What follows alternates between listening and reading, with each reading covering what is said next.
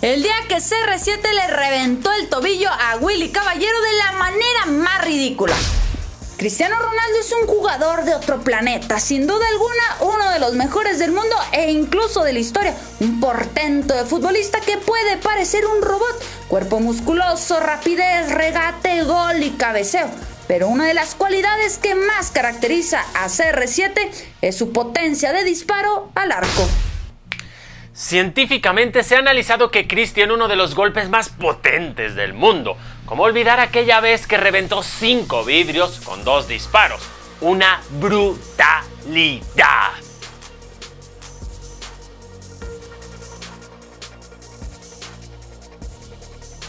Simplemente es increíble, gambeteros. En aquel estudio que hizo minuciosamente la sexta, revelaba que el disparo de Cristiano Ronaldo alcanzaba los 130 y 140 kilómetros por hora. Es que es una locura. Un disparo de Cristiano y se te reinicia la vida.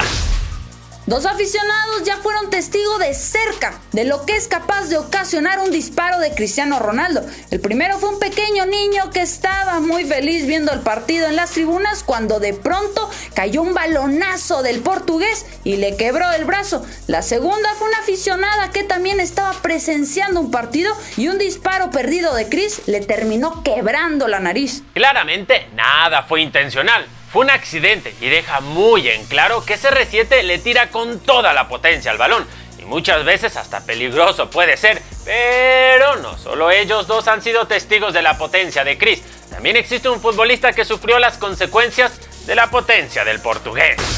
Tenemos que remontarnos al 2013. En la liga, el Real Madrid recibía en el Santiago Bernabéu al Málaga. El partido estaba muy cerrado, uno a uno el marcador y Cristiano tenía en sus botines marcar la diferencia. Cada vez que el 7 se pone frente a la portería, es casi casi un hecho que va a marcar. No por nada, muchos le llaman penaldo. Y más allá del hate, es verdad, es que casi no falla los penales, pero ese no entró. ¿La voló? ¿La tiró un costado? ¿Le pegó feo? No, no, no, no, no, no, gambeteros, nada de eso. Al contrario, le pegó con muchísima potencia y bastante posicionado. Pero el pie de Willy Caballero fue el salvador. Muy, pero muy pocos porteros pueden presumir de haberle parado un penal a Cristiano Ronaldo y Caballero es uno de ellos. Ese pie izquierdo fue el que salvó de último momento el arco del Málaga. Ese balón iba con toda la intención de entrar, pero Caballero estiró su pierna y con el pie la tapó. Pero no todo sería alegría porque el portero español no podría seguir sobre el terreno de juego.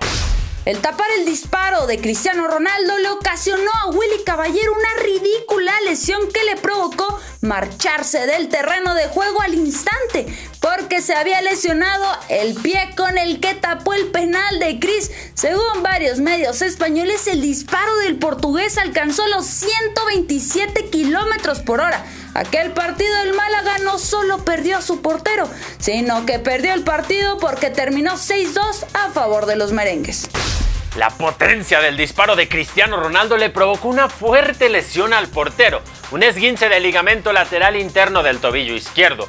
Se perdió varios partidos, pero nada como taparle aquel penal a Cristiano Ronaldo. Así que cuando vayan a un estadio y esté jugando CR7, pónganse casco y mucha protección, gambeteros, porque te puede quebrar algo.